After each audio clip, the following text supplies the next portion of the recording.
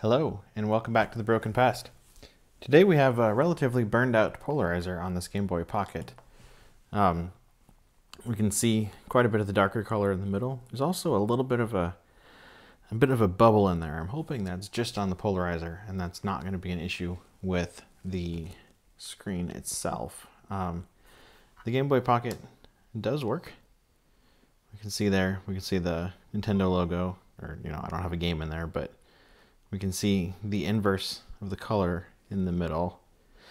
Due to that, the burned polarizer, um, sort of a common occurrence with these consoles. Overall, besides that, this thing appears to be in pretty good shape uh, overall. There's some, some gunk on the sticker and some, some scuffs here and there, but I think overall it's in pretty good shape. So today we're going to try, there's a little bit of a scuff on there, but I think that might come off with just a little bit of cleaning solution. So um, today we're gonna try to replace that polarizer film on the Game Boy Pocket. Usually it's a pretty easy task, so cross our fingers that today um, this will go pretty well for us as well. So to start with, we'll pull the batteries out of the pocket.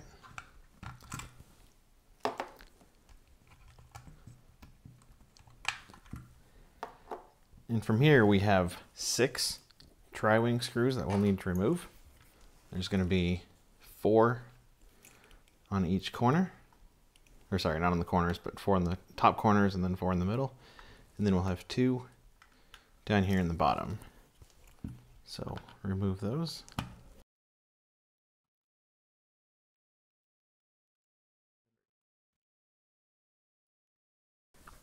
And all six of these screws are the same size as well, so we don't need to try to keep track of where they came from. And at that point, the back cover just pops straight off. You can see that overall, it's not too bad. Just a little bit of dust in there. And then we get access to the main board. Um, it looks like the cartridge slot is pretty clean on this guy. There's a little bit of corrosion on that Game Boy uh, original Game Boy we bought. Uh, but this seems like it's pretty good. Contacts in the front look fine. So I'm going to start by removing or loosening the locking tabs for the ribbon cable just to get those done and out of the way. And then go ahead and just remove the ribbon cable all together. And here we have three more. Nope, these are Phillips screws. I think some of these might be tri-wing screws on some consoles. Uh, and this one, these three are Phillips screws.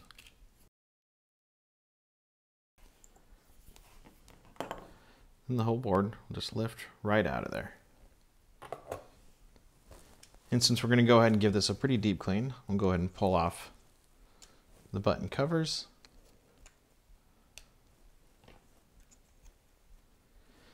And the buttons as well.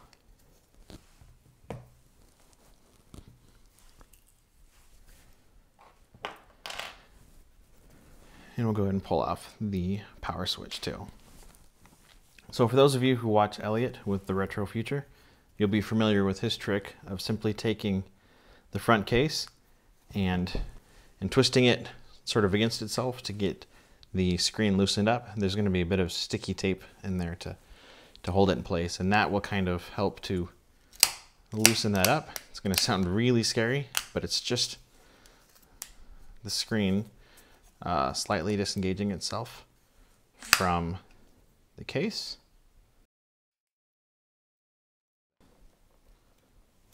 And there we have it. And here we can see the, the sticky that kind of helps to hold it uh, in place.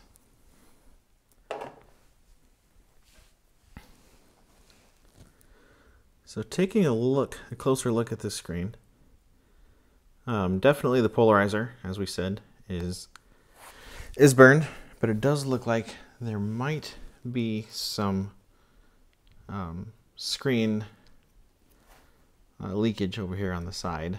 Uh, not a huge deal. Um, this is going to be for display as well, but most of this will be hidden by the framing of the the shell. There's an interesting bubble in the middle. I'm hoping that when the screen got burned, it just simply the the glue kind of just popped off right there. So we will take a look. Um, to get this off, it's not too bad.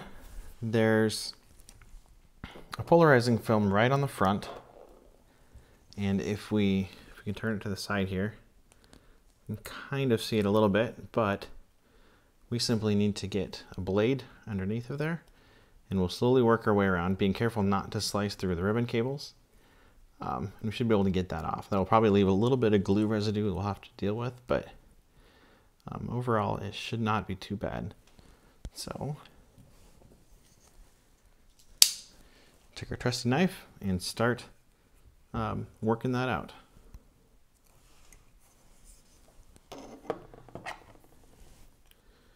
And if we're able to start getting part of the corner, then we should, being very careful not to put a lot of undue stress on the screen itself. We should be able to work our way around. And ultimately,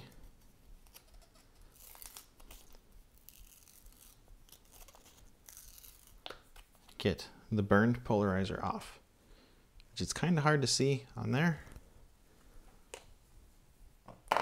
But the screen itself appears to be in really good condition um, underneath of all that. So clearly we have a lot of dried caked glue on there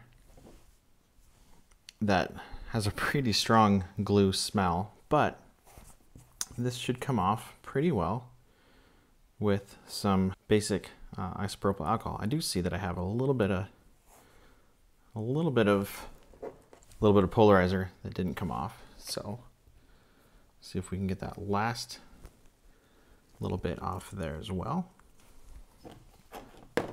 And piece of cake.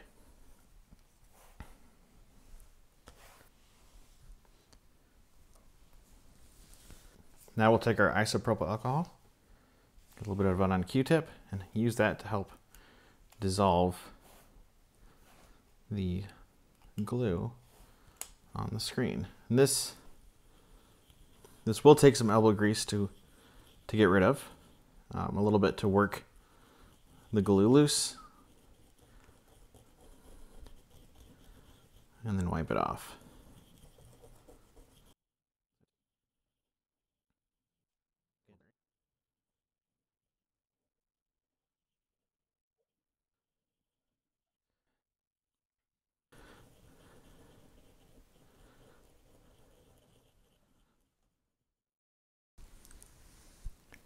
So after probably an hour and a half or so of scrubbing, um, I finally got all that glue off of there.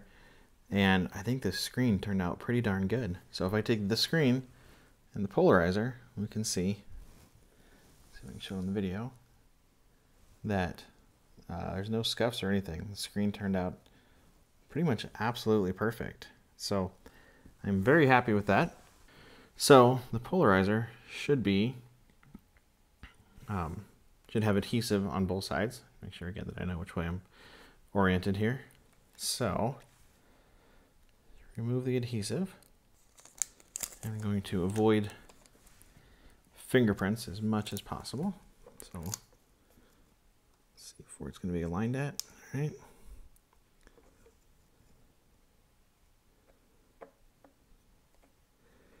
And yours might not come pre-cut. And if that's the case, simply use the old one as a template.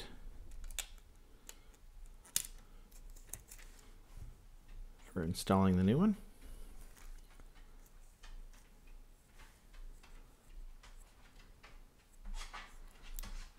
And then, before I bother with that front half, I'm going to go ahead And zoom out a little bit here. Temporarily put it all back together and make sure that we don't have any issues. Because there was a lot a lot of scrubbing on that to get all that glue off, so I want to just make sure that I didn't accidentally bump anything in the process. And I think I can just sit it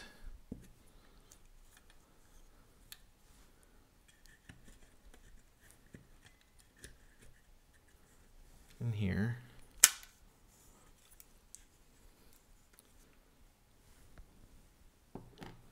Throw some batteries in.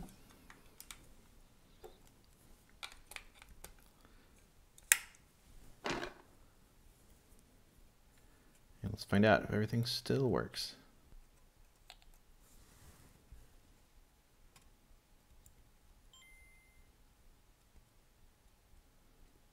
There it goes. If we can see that, everything still looks good. And we don't have that, that burned ring in there, which we can see by adjusting the contrast. So that is great news. So I'm to go ahead and shut it back off.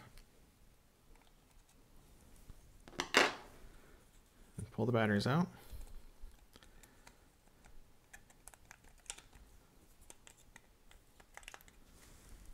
And at this point, I think it's actually time to go ahead and clean everything before putting it all back together. So, so I'm going to go ahead and do that now, and I will cut to the result when that's all done. So it's been about 18 hours now since I got all the parts cleaned up. Uh, they've had overnight to to dry. Um, I think everything looks like it turned out pretty well. So at this point, we can simply begin the uh, reinstallation process, the reassembly process, uh, basically just doing everything in reverse. Um, the first thing I still need to do is get the front part of the the polarizer off of here, the front protecting part of it. So since the since the polarizer did not come with any adhesive, Let's see if I can just sort of position it into place ahead of time. And then just drop the screen in place.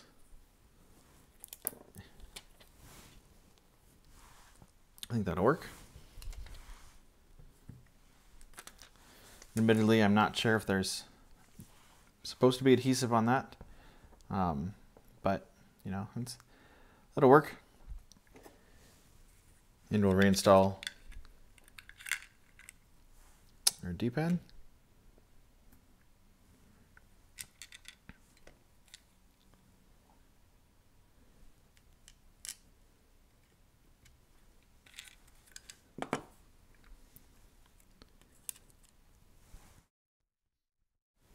as well as our A and B buttons.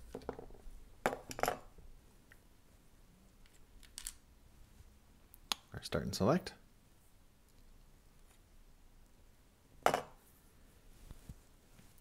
Covers.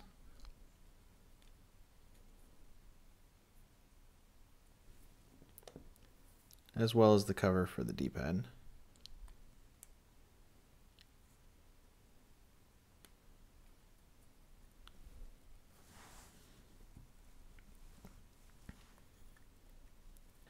and slide our motherboard in place.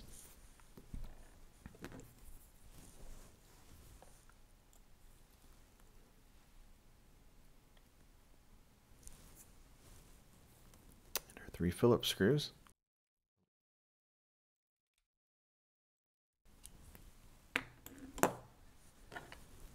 These are tweezers to help realign the ribbon cable. I might be able to do it without the tweezers. But we can use them to help fully seat the ribbon cable and then drop our locking tabs back in place and insert our power switch.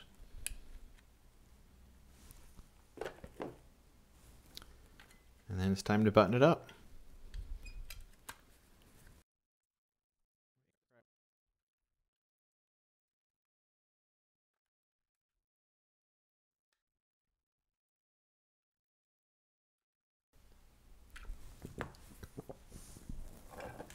Let's drop some batteries in and let's see how it looks.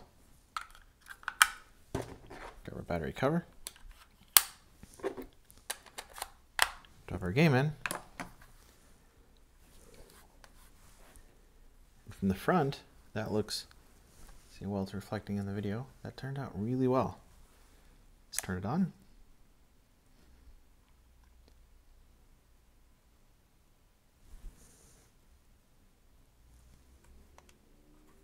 Some volume here.